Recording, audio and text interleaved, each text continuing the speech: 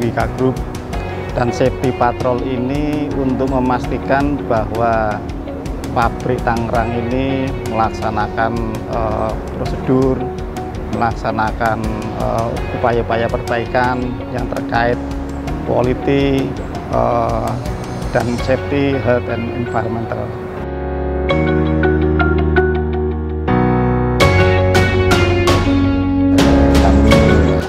Merasa ada sesuatu yang mulai berkembang, terutama dalam menjalankan suatu sasaran dan program yang ada di pabrik fabrikasi baja yang diprioritaskan terhadap uh, mutu dan K3 adalah sasaran yang di mana yang dilakukan secara implementasi setiap uh, mingguan, bulanan maupun tahunan.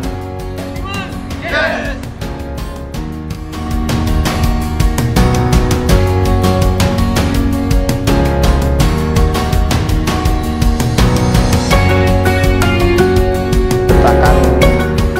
Keselamatan dan kenyamanan dalam bekerja, kami membuat prosedur-prosedur instruksi kerja untuk diterapkan oleh si pekerja. Jadi di situ kita akan bekerja sesuai instruksi kerja yang sudah ditetapkan. Kemudian kita juga prosedur KSHE-nya tetap dijalankan.